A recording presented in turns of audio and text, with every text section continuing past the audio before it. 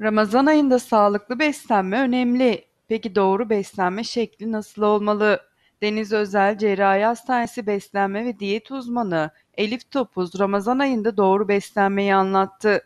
Oruç tutarak diyet yapmayı önermediklerini belirten diyetisyen Topuz, iftar ve sahurda beslenme şekli hakkında bilgi verdi.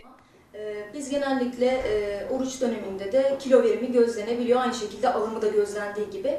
Belli bir diyetisyen kontrolünde tabii ki bu süreçte kilo vermek de mümkün. Ama sadece kilo vermek için çok fazla oruç tutmayı önermiyoruz açıkçası. Tabii orucun amacı farklı. O tabii biz e, mümkün olduğunca ekstra bir durum olmadığı sürece sahura kalkılmasını öneriyoruz. Çünkü kalkılmadığı takdirde iftarla gece yatıp yiyen grupta genellikle çok kısa bir vakit arası oluyor. O da metabolizmayı olumsuz etkiliyor. Muhakkak kalkılması gerekiyor.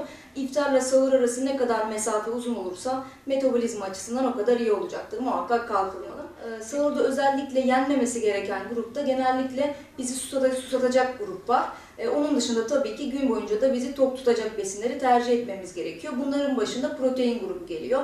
Bunlara başta yumurta ve peyniri örnek gösterebiliriz. Bunun yanında belki bir kepekli tost, tam buğday ekmeğine yapılmış kepekli tost değerlendirilebilir. Onun dışında belki birazcık tek düze olmasın diye yulaf, yoğurt, e, kavrulmamış yemiş ve meyvelerle yapılan bir kase daha böyle fresh, e, taze bir şey yapılabilir.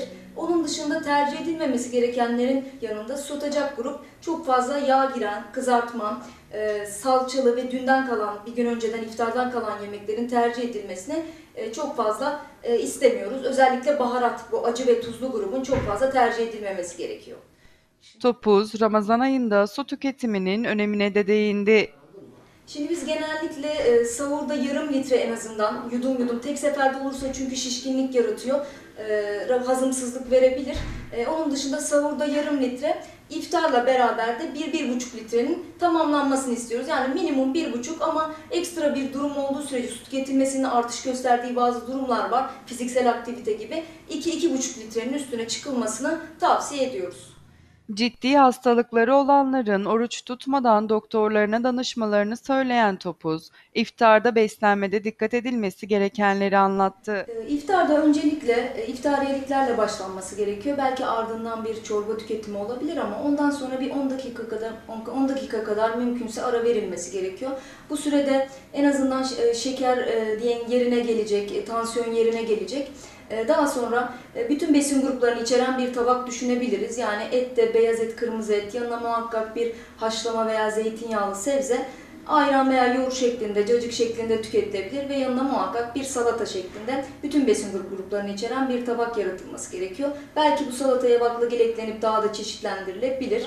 Kızartma, yağ içerikli ve dünden kalan, iftardan kalan salçalı yemek grubu giriyor. Bunları çok fazla tercih etmemek gerekiyor. Özellikle çok baharat girmiş e, sulu yemekleri.